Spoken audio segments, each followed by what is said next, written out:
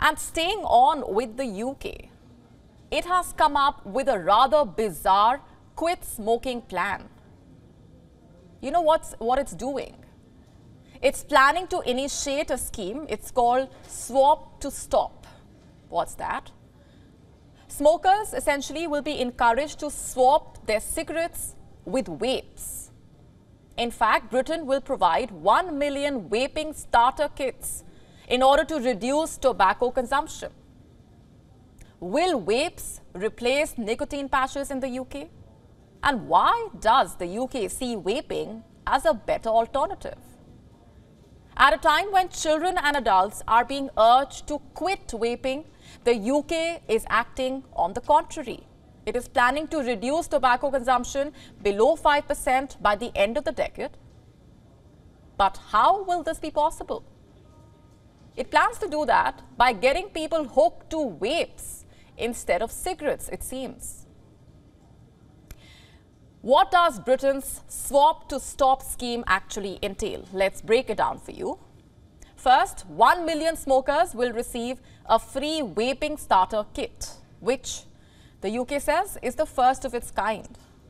Next, pregnant women will be offered $497 to stop smoking cigarettes. The government will also launch a consultation to urge manufacturers to put advice on quitting tobacco inside the cigarette packs. The scheme also includes a crackdown on underage and illicit vape sales. And while the UK has a really low percentage of smokers as compared to earlier years, will the introduction of free vapes really help? Experts say that although vapes are less harmful, they are not the silver bullet. Let's first see how an e-cigarette really works. E-cigarettes, or vapes as they are called, contain a liquid which is made of a mixture of nicotine, propylene glycol, glycerine and other chemicals. The machine is battery operated, so when the user takes a puff, it activates the battery, which then vaporizes the liquid and the user inhales the vapor. Now, make no mistake, vapes are addictive and they can cause serious long-term effects. In fact, researchers have linked vaping to severe lung injury, heart attacks, neurological injuries, seizures as well. And all of these injuries are identical to the effects of traditional smoking. So how is this better? With more incidents of children using vapes, the UK government is planning to clamp down on shops selling vapes to people under the age of 18. The Department of Health, in fact, will allocate over $3.7 million to tackle the issue. So what is Britain's plan of action for the pro-vape scheme? The government is planning to include local authorities in the first wave of this free vape policy. This is before a larger national scheme is rolled out. Over the next two years, officials say the plan will cost nearly $56 million, which will be funded by the health department.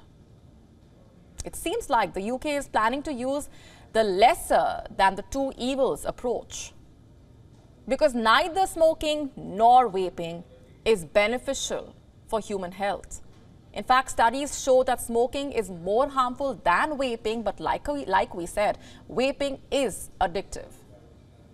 Smoking affects non-smokers as well, as second-hand smoke contains more than 7,000 toxic chemicals, from which nearly 70 of them cause cancer.